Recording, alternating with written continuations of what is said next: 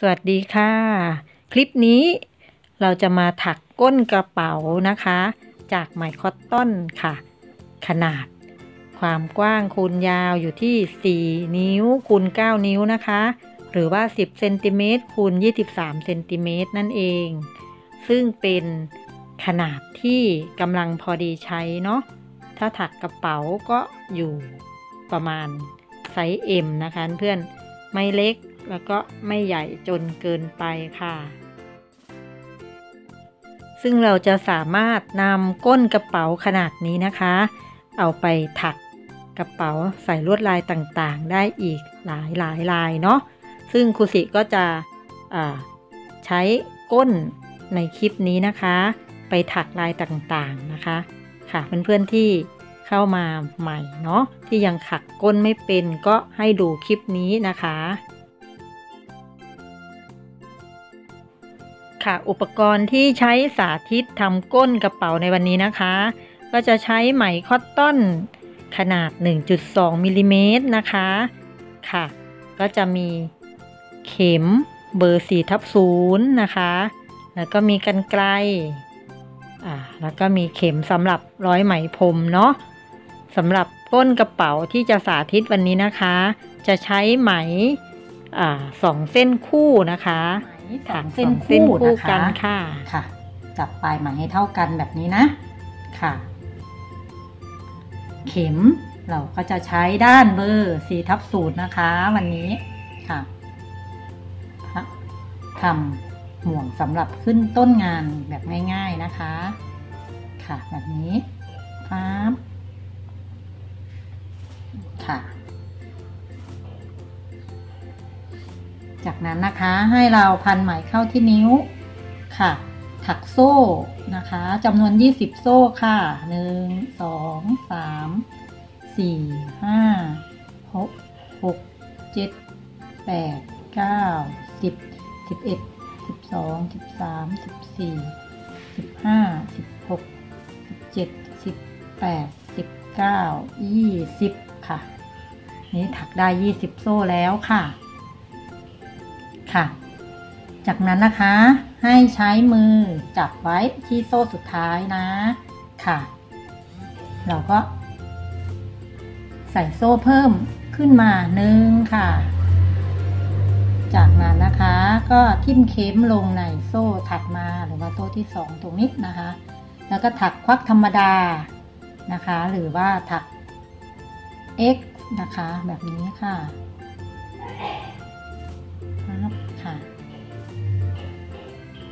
ในทุกๆโซ่นะคะ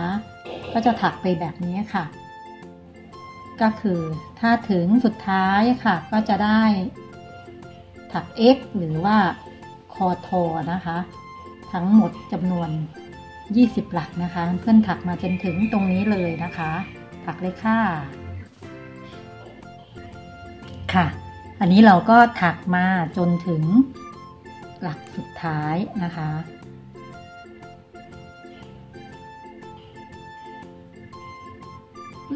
นะคะอันนี้หลักสุดท้ายเนาะจากนั้นนะคะ ให้ใส่โซ่หนึ่งค่ะ แล้วก็พลิกชิ้นงานกลับนะคะ แล้วก็ถักย้อนกลับมาอีกนะคะ ถัก x ครั้งที่หนึ่งนะคะ x ครั้งที่สองที่สามเนี่ยค่ะ กลับไปเรื่อยๆ เลยจนให้ถึง สุดท้ายตรงนี้ก็คือ 20x เนาะเราจะถักแบบนี้นะคะให้ให้มาจนถึงตรงนี้เลยนะคะถามเพื่อนถักเลยค่ะ ค่ะ อันนี้เราก็ถักมาจนถึงสุดท้ายแล้วเนาะอันนี้จะได้แล้วสองแถวใช่ไหมคะเพื่อนหรือว่าหนึ่งคู่ เหมือนเดิมนะคะ พอถึงสุดท้ายแล้วค่ะ ก็ให้เพื่อนๆถักโซ่ขึ้นหนึ่งค่ะ แล้วก็พลิกชิ้นงานกลับแบบนี้ค่ะ แล้วก็ ถักย้อนกลับเหมือนเดิมนะคะ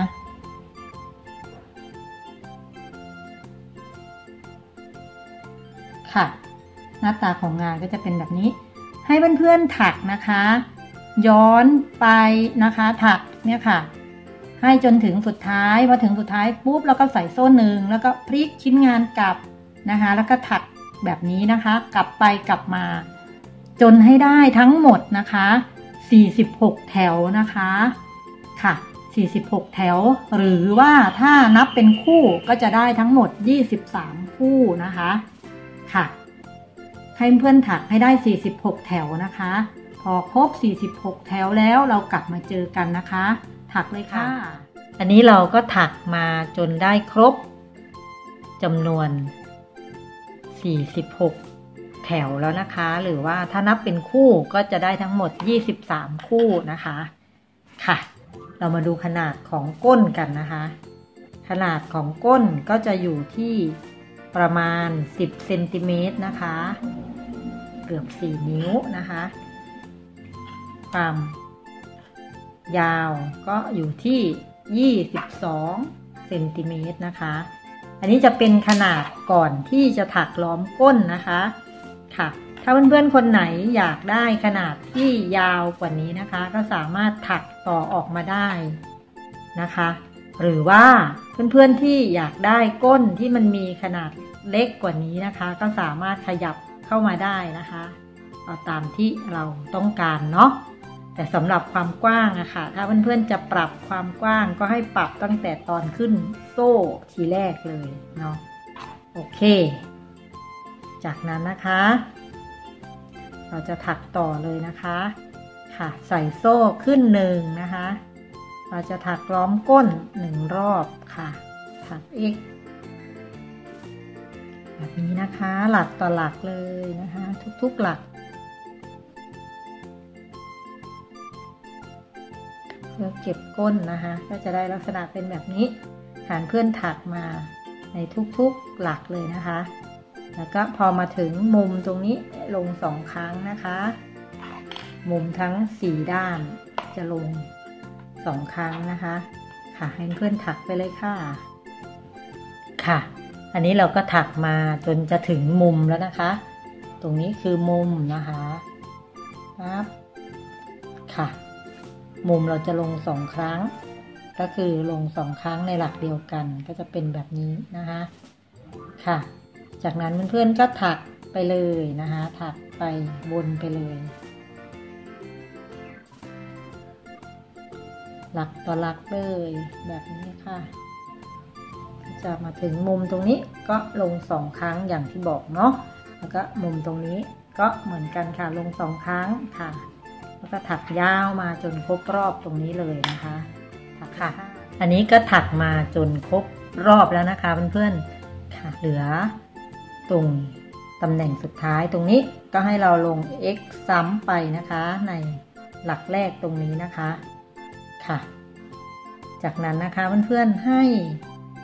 ถักวนไปเลยนะคะ ถักโดยการถัก x นี่แหละค่ะเหมือนเดิม แต่ว่าเกี่ยวขาเดียวด้านนอกแบบนี้นะคะหนึ่งรอบ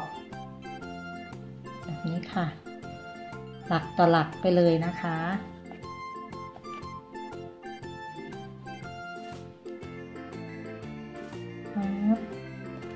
ค่ะ ก็จะเป็นแบบนี้นะคะค่ะ จากนั้นนะคะเพื่อนๆให้ถักวนไปเลยนะคะ ถักโดยการถัก x นี่แหละค่ะเหมือนเดิม แต่ว่าเกี่ยวขาเดียวด้านนอกแบบนี้นะคะหนึ่งรอบ แบบนี้ค่ะ หลักต่อหลักไปเลยนะคะ